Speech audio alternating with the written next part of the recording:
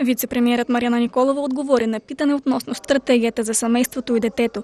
Тя заяви, че работата по проекта е започнала с заповед на председателя на Държавната агенция за защита на детето. Проектът на Национална стратегия за детето е представен и прият с решение на Националния съвет за закрила на детето на заседание, проведено на 19 декември 2018 година. Проектът е публикуван за обществено обсъждане в периода 10 януари 2019 – 8 февруари 2019 година.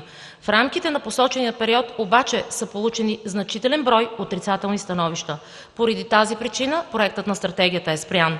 Не е даван абсолютен никакъв ход на междуведомствена съгласувателна процедура и не е внасян за разглеждане в Министерския съвет. Такъв документ, както вече посочих по-горе, не съществува в правния мир.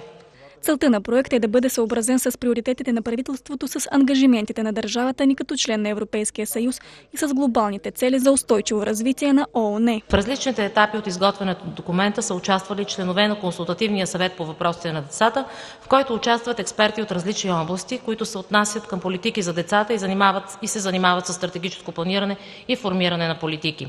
Проведена е също отделна консултативна среща с членовете на Националния съвет за закрила на детето, представители на държавни институции на ниво заместник-министри и ръководители на държавни органи.